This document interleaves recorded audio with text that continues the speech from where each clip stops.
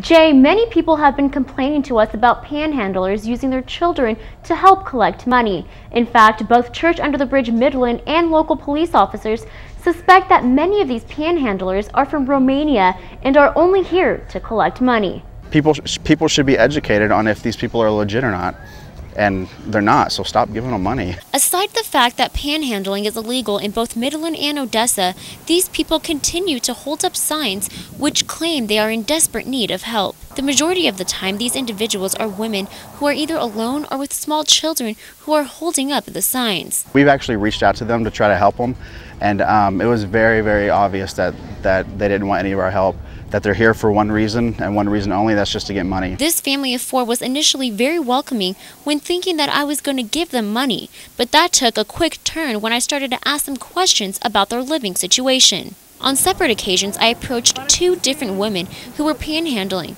one near the Midland Mall and the other by Home Depot.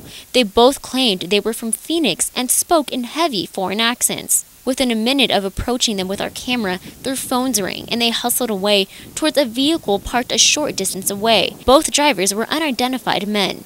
One of those women was even yelled at by one of the male drivers to get into the car. As I watched her, I noticed the same family I had tried to interview earlier interacting with the man who was yelling. After all of these incidents, I have great reason to believe that something greater is going on among all of these people who claim not to know one another. Both police departments say this is something they are going to look into, and of course, we will keep you posted as we learn more. Live in the newsroom, DeAnn Lopez, CBS 7 News.